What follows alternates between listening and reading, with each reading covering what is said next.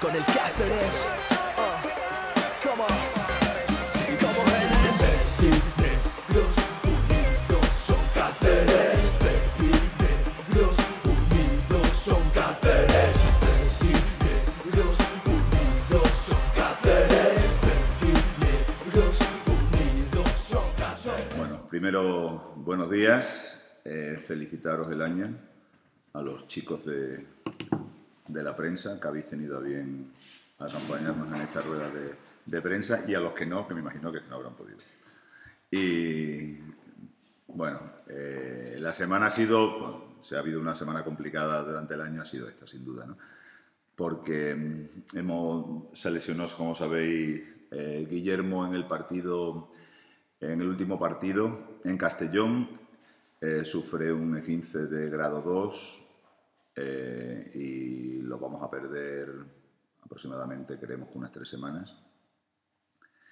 Y Rolanda ya está, está de baja indefinida.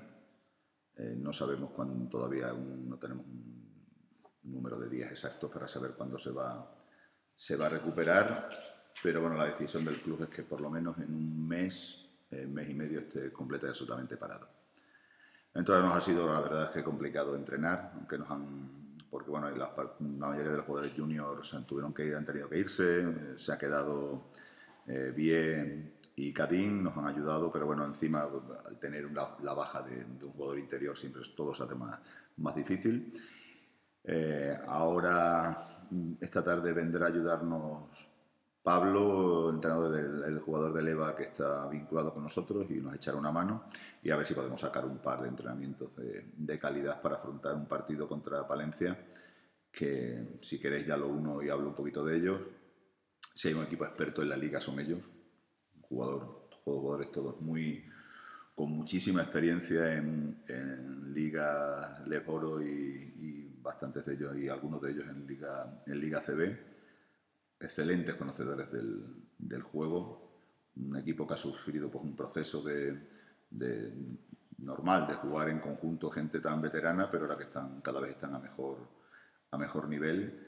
Y hablar de jugadores de, Pal- de Palencia es hablar de todos, ¿no? porque todos son jugadores top de la liga y, y va a ser evidentemente un partido, un partido complicado, eh, indistintamente de que hubiéramos tenido a todos los jugadores o no, pero bueno, eh, afrontamos el partido con la sensación de que sin Rolanda y con la lesión de Guille en Castellón competimos muy muy bien y pudimos sacar el partido en Castellón y espero poder estar a ese nivel el, el- el domingo por la tarde.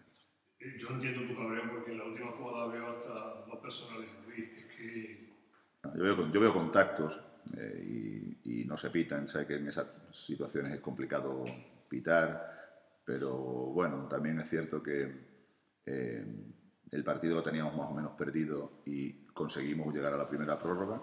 La primera prórroga la teníamos completa y absolutamente dominada para ganarla y, y no fuimos, no fui- no fuimos capaces de, ganarla. Y tuvimos los dos tiros para ganar las dos. Era un caro club, ellos hicieron posiblemente tantos méritos como nosotros para, para ganar, pero se lo llevaron ellos.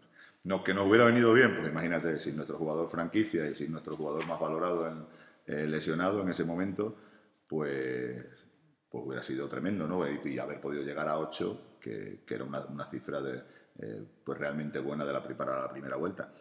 Ya, pero bueno, nos queda un partido para terminar la primera vuelta y podemos llegar. Yo tengo la confianza de que si hacemos las cosas bien, vamos a competir contra, contra Palencia y podemos sacarlo. Y llevar 8 en la primera vuelta con todo lo que nos ha pasado, pues yo creo que está realmente bien. Vamos a, vamos a intentarlo.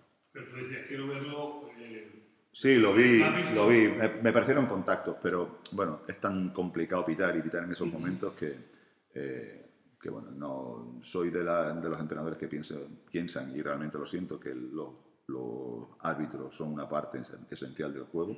Sin ellos esto no sería prácticamente imposible jugarlo y que se equivocan, pues tanto como nos equivocamos los jugadores como nos equivocamos los entrenadores. Hay veces que, sí, eh, tú ves un partido y, y haces una lista de las cosas que te han dado y te han quitado y suelen ser, suelen ser parejas y además eh, sin intención, que es lo que a mí me- más me importa. ¿Cuál, es exactamente el diagnóstico de Rolanda? Pues Rolandas tiene un edema óseo en la, en la rodilla y, y por ahora lo tenemos que parar completa y absolutamente. Está ahora con rehabilitación desde que se le diagnosticó. Eh, eh, no es nuevo para ti tener problemas, pero estos son muchos problemas. ¿no? Sí, bueno, Sobre todo por la posición que son tan, tan claves y jugadores tan claves. hombre, Rolandas es nuestro jugador franquicia y Guillermo Corrales es el jugador más valorado hoy por hoy en el equipo. Con lo cual está claro que lo vamos el grupo lo va a resentir, se va a resentir de ello sin duda. Bueno, hemos, he- hemos tenido que lidiar con momentos complicados en cuanto a lesiones durante los últimos años. Sí es cierto que no tan pronto. ¿eh? Eh, cuando el año pasado terminamos jugando con 8 porque se lesionó José Marco y se lesionó Luis Parejo, pero ya llevábamos 14 y cuando nos ha pasado ha sido al final de temporada y ya más o menos teníamos por lo menos la permanencia asegurada, pero ahora bueno, ahora tenemos problemas en el sentido de que nos queda toda una segunda vuelta por, por jugar. ¿no? Esto en otros equipos significaría un, un fichaje por menos en uno de los repuestos. Bueno, ahora el club está en su mano, está intentando echar cuentas a ver si hay alguna posibilidad y eso es, eh, es lo que están viendo. Ahora lo que pasa es que Sergio tendrá que subir de minuto. Sergio el otro día, aún haciendo con dos, con dos prórrogas, jugó 40 minutos y no hay que olvidar que tiene pues 38, 39, 39 años. ¿no? Pero con él cuento sin problema, porque si hay un jugador comprometido es él. En la plantilla hay varios, ¿eh? o sea que sé que gente se va a multiplicar y con Sergio no tengo ningún problema porque, porque va a hacer un esfuerzo. Nosotros sí es cierto pues, que tendremos que hacer un trabajo diferente, iremos reduciendo cargas en momentos determinados para que él pueda llegar lo más fresco posible a los, a los partidos.